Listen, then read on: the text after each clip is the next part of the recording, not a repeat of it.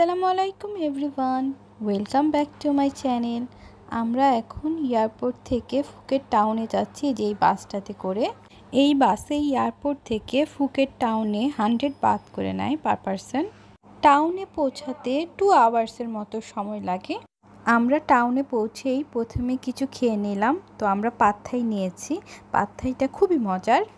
তো খাওয়া দাওয়া করে আমরা একটু বাইরে বের হলাম আর একটু ফুট মাসাজ করে নিলাম। থাইল্যান্ডে ফুট মাসাজ তো খুব ফেমাস এটা সবাই জানে। ফুট মাসাজ করে ঘুরতে ঘুরতে আমরা পাতং বিচের সামনে চলে এসেছি।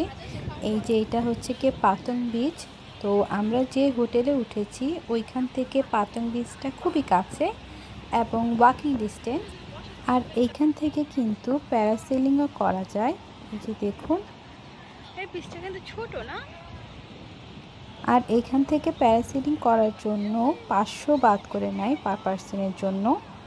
এখানে অনেক ট্যুরিস্টরাই আসে প্যারাসিলিং করার জন্য। তো আমরা প্যারাসিলিং করিনি কারণ আমরা খুবই ভয় পাই। তাই আমরা এখানে বসে বসেই এনজয় করেছি। আর এই বীজটা ছোট হলেও সুন্দর এবং এখানে বসে থাকতে তো খুবই ভালো লাগছে। কারণ বীজের সামনে বসে থাকার মজাই আলাদা, সেটা ছোট হোক আর বড় হোক। কি সুন্দর একটা মাল্টি কালারের প্যারাশুট দিয়ে ওরা প্যারাসিলিং করাচ্ছে। দেখে তো খুব ইচ্ছে করছে প্যারাসিলিং করার জন্য, বাট আবার ভয়ও লাগছে।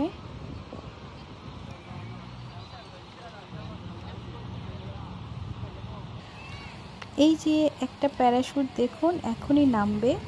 এখনই এই দিকে আসছে এবং নামার জন্য এখানটাতেই আসবে। এবং আরেকটা তো উড়ার জন্য রেডি হচ্ছে। এই যে দেখুন, নামছে নামছে। এবং পিছনে কিন্তু ওদের গার্ড থাকে। আই মিন যে এটাকে অপারেট করে।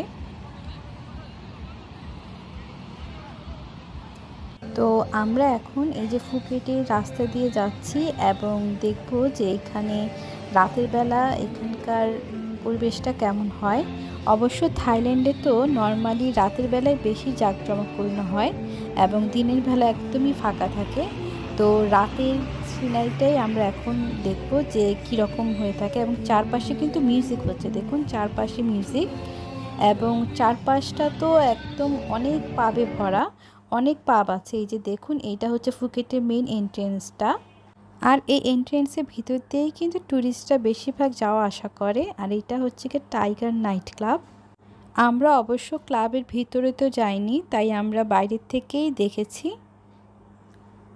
থাইল্যান্ডে অবশ্য বার আর ক্লাবের অভাব নেই, প্রচুর বার এবং ক্লাব এইখান থেকে গিয়ে আমরা বার্গার কিংয়ে গিয়ে এই আইসক্রিমটা খেয়েছি, আমার কাছে এই আইসক্রিমটা খুব মজা লাগে।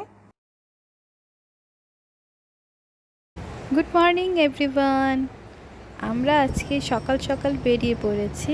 আজকে আমাদের সারাদিনের ট্যুর তো দেখুন, আমরা এখন একটা শিপে আছি।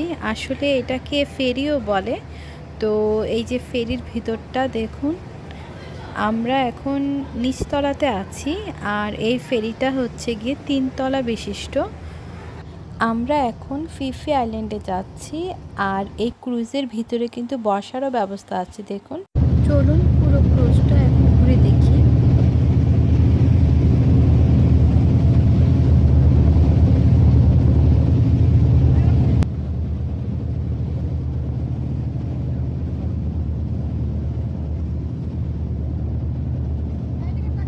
আমরা এখন আন্দামান সির উপর দিয়ে যাচ্ছি।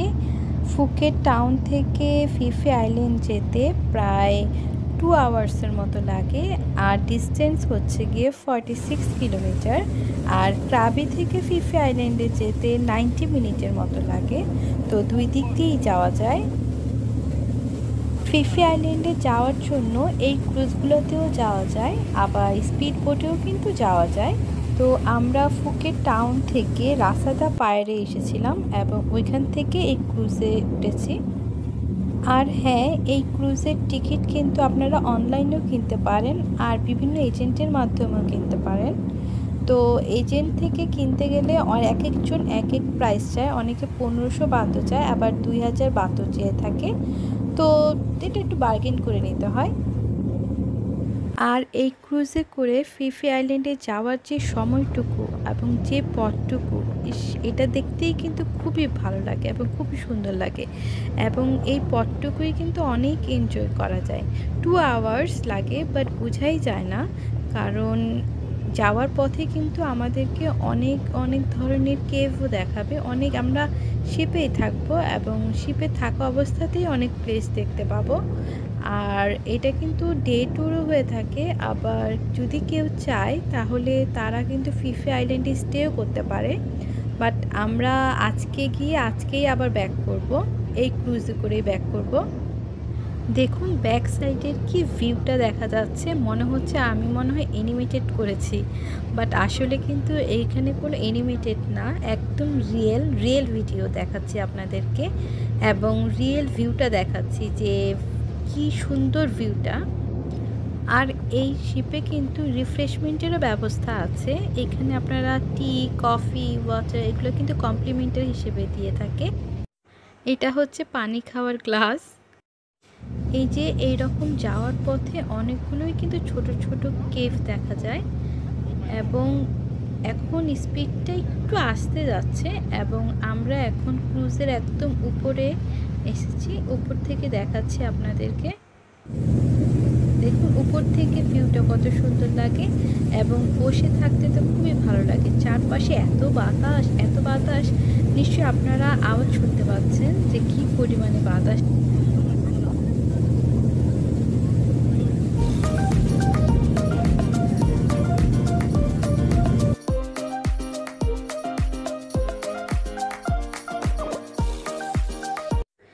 যে আমরা এখন মায়াবেতে চলে এসেছি, এখানকার পানির কালারটা কিন্তু টোটালি ডিফারেন্ট ভালো মতো খেয়াল করলে দেখতে পাবেন।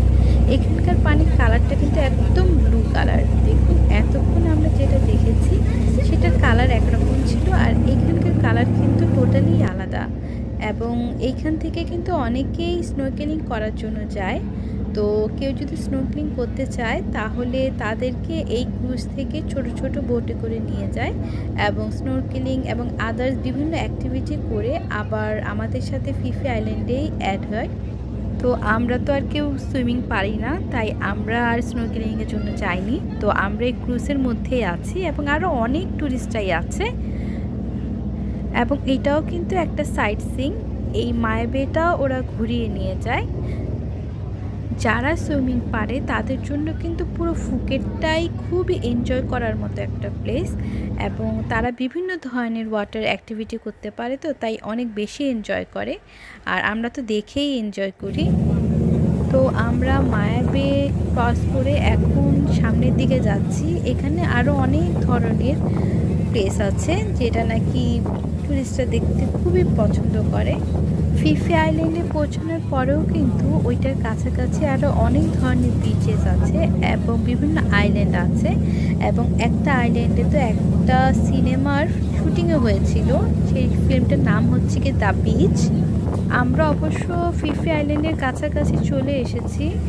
এই যে আমরা ফিফি আইল্যান্ডে চলে এসেছি, আর এটা হচ্ছে কি ফিফি আইল্যান্ডের মেন এন্ট্রেন্সটা তো এই ক্রুজটা আমাদেরকে এখানেই নামিয়ে দিয়েছে। তো এইখান থেকে যদি কেউ অন্য কোথাও যেতে চায়, তাহলে এই যে ছোট ছোট বোট দেখতে পাচ্ছেন, এই বোটগুলোকে ভাড়া করে নিয়ে তারপর যেতে হয়।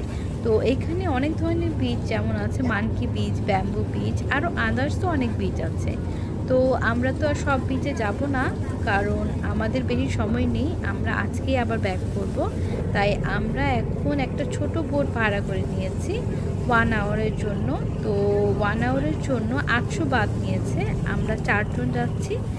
আমরা এখন মানকি বিচে যাচ্ছি, যেখানে নাকি মানকি দেখা যায় বলে। তো আমরা ওইখানে গিয়েই দেখব যে ওইখানকার বীজটা কীরকম। এই যে আমরা এই ছোট বোটটাতে করে যাচ্ছি, এটাকে অবশ্য ট্রলারও বলা যেতে পারে।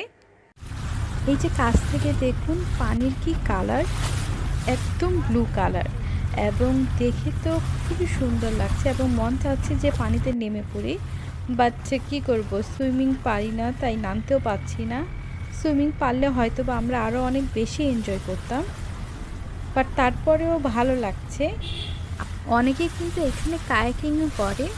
এই যে দেখুন, মানকি দিয়ে ভরাই বীজটা তো আমরা ফিফি আইল্যান্ডেরই ফিফি ডন থেকে আমরা লাঞ্চ করে নিয়েছি এবং লাঞ্চ করে আমাদের আবার ব্যাক করতে হবে কারণ আমাদের ফুকিটে যেতেও আবার টু আওয়ার্সের মতো লাগবে। তো আমরা এখন সবাই ক্রুজে উঠে পড়েছি এবং আমাদের ক্রুজও চলতে শুরু করে দিয়েছে। আমাদের এইবার খুবই শর্ট টাইম ছিল, তাই আমরা একদিনে গিয়ে একদিনেই ব্যাক করছি।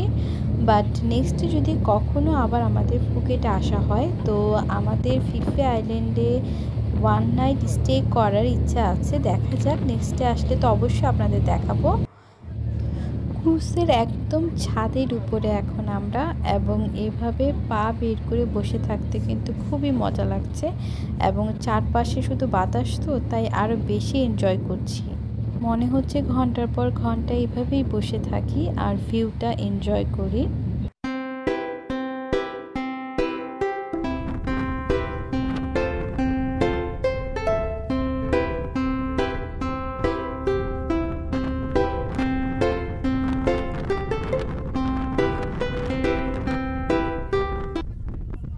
ঠিক আছে এভরিওয়ান আজকে এই পর্যন্তই। আবার নেক্সট ব্লকে আপনাদেরকে নতুন আরেকটা প্লেস নিয়ে দেখাবো। সবাই ভালো থাকবেন। আল্লাহ হাফেজ। আমার চ্যানেলটা ভালো লাগলে প্লিজ লাইক শেয়ার এবং সাবস্ক্রাইব করে দিবেন।